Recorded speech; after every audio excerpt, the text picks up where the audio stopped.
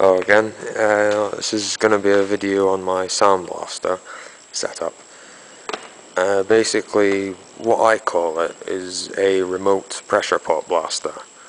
And with a pressure pot blaster, how they work is you've got the air goes in and it there's a, a pipe that some of the air goes into the pot and pressurizes, puts air pressure on top of the sand, and then that forces it out through a valve at the bottom and then there's also air that comes down the side of the tank and down the bottom of it.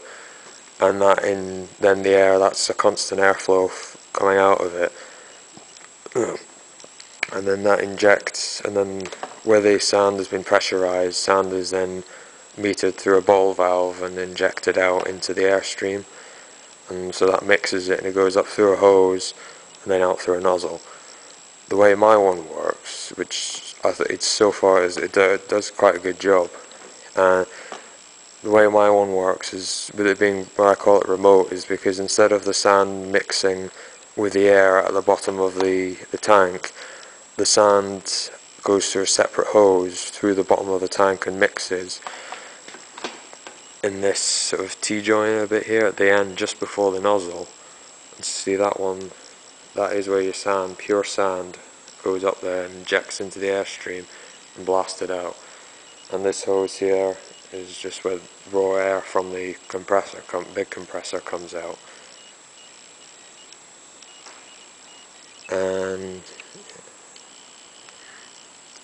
and the reason why I did it like that is because you know you imagine inch sandblast so this is just PVC hose and it was about I think it was like 50 quid for 30 meters and you can imagine you know 30 meters of sandblasting hose I mean it'd be yeah, it'd be a couple hundred uh, you know for decent proper hose and then it's a lot heavier and you know a lot more you know a lot more probably not as flexible as this I might be wrong on that but so this is cheaper and there's of course there's less wearing parts on it so all around it's cheaper. The the only th way I work it with mine is I've got the air coming from my big homemade compressor just going directly through this.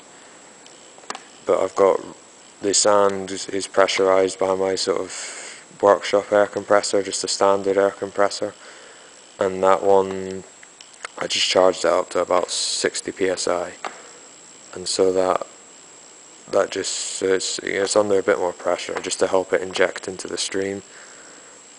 But I mean so that's how that's how I use it and just the other day I was you know, I was blasting for an hour on it and nothing was going wrong in it, it was all working nicely.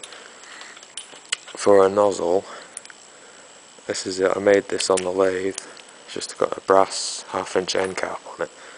It's a lot like the ceramic nozzles that you get. And it's steel, but as you'll see inside there, that's a tungsten carbide insert you can get those, they're 3.5 mil, you can get them on eBay for about 20 quid. You know, for tungsten carbide, that's pretty good that. And so, with this, I just, I got the bit, and it's a bit of rod. Yeah, I cut it in half, so I've got a spare one when this one wears out, if it ever does.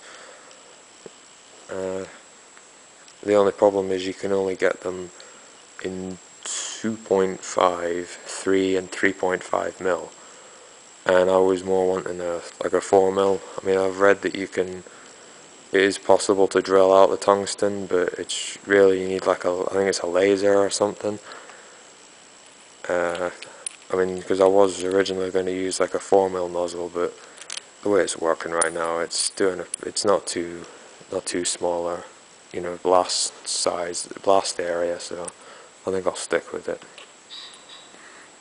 uh, so that's it really. If you have any questions on it or just message me and I'll be happy to help. Alright, thank you.